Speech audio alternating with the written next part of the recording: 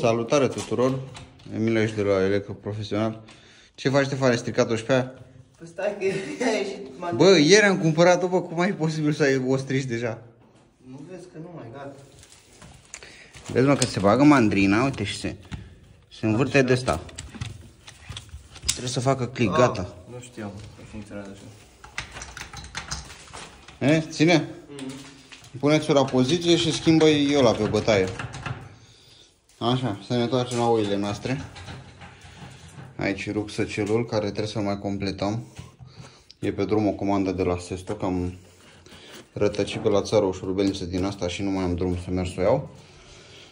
Uh, Aici avem echipamentele. Mulțumim ETD pentru promptitudine. Avem de toate pentru toți. Descărcător T1, T2. Niște cleme și două prelungitoare pentru două doze Kaiser care le avem la etaj. Așa. Îmi place noul design de la cutiile ETI. Avem aici descărcător, ăsta separatoarele, era să zic descărcătoarele. Siguranțe, siguranțe, diferențiale. Aici o să avem releu HRN100 instalat. Și aici avem clement de derivație. 5 bucăți. So, vor fi aici instalate. Va urma aici masca de rigips. Pentru că a fost subțire peretele, nu am putut să le îngropăm prea mult și a fost destul de multe. Asta este o lucrare de vreun an și jumătate, făcută ceva de genul, sau poate chiar doi, undeva în Mogoșoaia. Și ni s-a cerut expres să băgăm nimjul pe Copex și asta e. Ne-am conformat, să zicem așa, deși nu era neapărat necesar. Aveam un mic tablou de 165 de module. Un branșament 5x16 frumos. Nu mai știu cât ai și tu pământarea, dar cu certitudine este parametri, doar e făcută de mine. Acolo scablurile ce iasă afară, aici nu ne-a lăsat să dăm gaură prin placă. Este ieșit afară, mers pe exteriorul casei și apoi intră la etaj cu cablul pentru alimentarea tabloului de la etaj, pentru că, repet, nu am putut să trecem prin plafon. Nu a vrut clientul din vari motive și n-am avut ce să fac. Trebuie să dezizolăm cablurile și să ne apucăm de treabă. Revenim cu update Hei, dragi urmăritori, finish.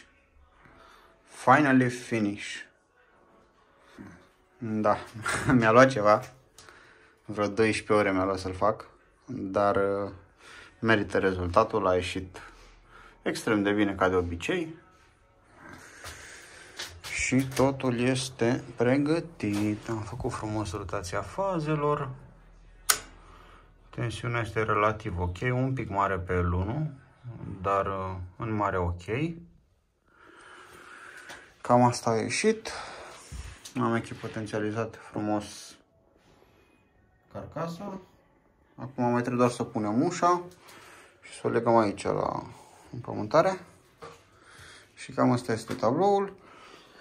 Uh, aici este un tablou obișnuit pentru o casă obișnuită, deci nimic ieșit din comun. Orice casă obișnuită, nouă construită sau poate chiar și mai veche și renovată, cam așa ar trebui să arate un tablou electric obișnuit care să ofere toate, toată protecția necesară.